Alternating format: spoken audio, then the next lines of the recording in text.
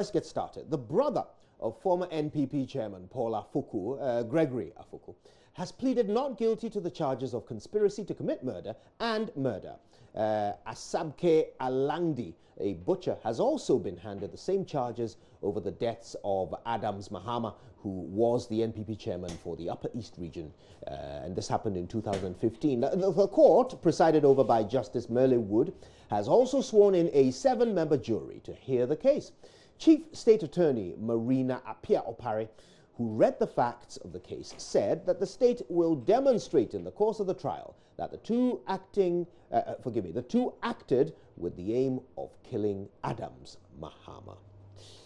Now, Joseph Ackah-Blay just returned from the court. He joins me here in the studio with some details. Um, Joseph, good to see you.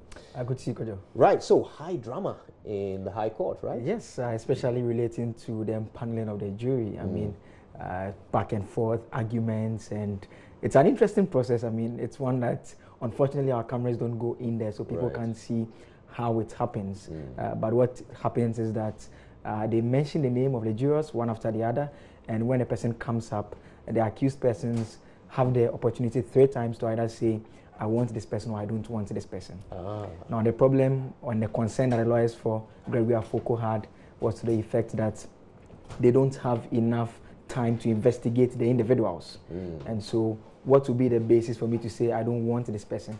It would mean that I would just have to be looking at the person's appearance. Mm. And so, the first person was called, uh, the, the, the, initially, Gregory Afoko didn't object but when his lawyer reminded the court that he as counsel can also object, uh, Gregory Afoko then proceeded to object to that person.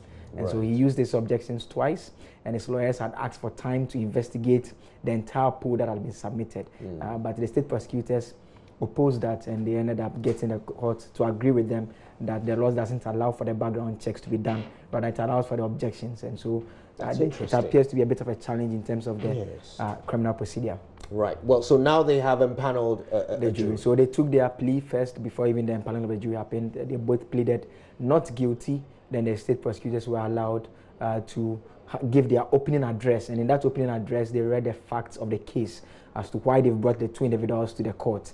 And that was when they informed the court that uh, sometime in 2015, uh, Gregory Afoko's brother, Paul Afoko, who was the NPP national chairman, and Kwabena Agyapong, who was then general secretary, yeah.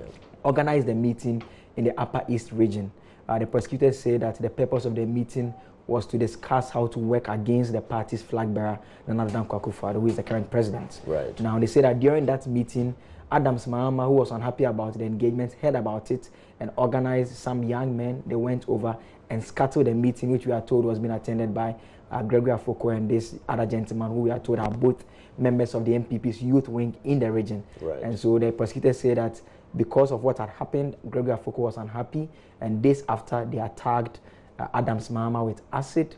He was rushed to the hospital, and just before he died, he told three people that these are the two individuals who poured the acid for on me. So the state prosecutor are saying that in the course of the trial, they will be leading evidence to show that Adams Mahama indeed died mm. and indeed his death was caused by these two individuals. Right. Uh, how many witnesses uh, are they planning uh, to They call? say 19. And uh, what's interesting to note is that you recall the trial had started and was truncated just in yes. February.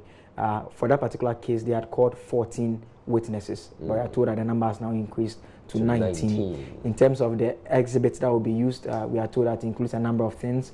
Uh, one has to do with um, a gallon that contains acid that the prosecutors say was the acid that was poured on him. Right. There's also a tracksuit we are told belongs to Gregory Afoko mm. uh, that was found at his home when the police prosecutors went over. Mm. And we are told it has uh, droplets of that acid and the Standards Authority have tested it, saying that it's the same acid right. that is in a gallon, the same acid that was again poured on uh, Adams Mahama. So that those are some of the exhibits that will be bringing.